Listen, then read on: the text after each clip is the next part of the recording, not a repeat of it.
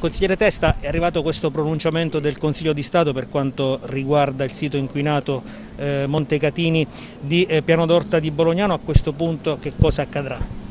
A questo punto speriamo che la proprietà, così come ha ribadito anche il Consiglio di Stato dopo il TAR, dopo lettere inviate alla proprietà da parte del, del, sindaco, ma così come si è espresso già il Ministero dell'Ambiente, produca un progetto serio e realizzabile entro 30 giorni per demolire e per eh, smaltire i rifiuti eh, pericolosi. Noi vogliamo eh, comunque anche comprendere il perché si debba arrivare a scomodare la magistratura quando c'era un governo cittadino, un governo provinciale, un governo regionale, targati tutti centrosinistra, che hanno, eh, non hanno fatto un bel niente nel merito, non si sono impegnati, non hanno, non hanno accertato le cause, quindi c'è stata una negligenza totale, mentre, e lo dico senza eh, essere smentito, che l'amministrazione comunale, così come l'amministrazione regionale, hanno lavorato gomito a gomito, non soltanto per quanto riguarda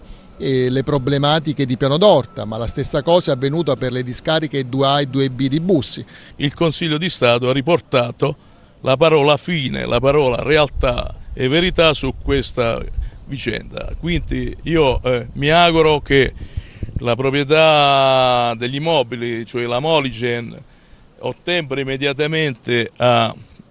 emanare un progetto di demolizione che permetterà appunto di far sì che la Edison speditamente proceda a questa bonifica. Voglio capire come mai in quei siti i vecchi amministratori addirittura avevano indicato quei siti edificabili. Quindi sarà un'altra segnalazione all'autorità giudiziaria per capire cosa c'è stato dietro che nessuno dopo vent'anni pur sapendo che erano dei siti inquinati, addirittura permettevano di far sì che c'era uno sviluppo residenziale.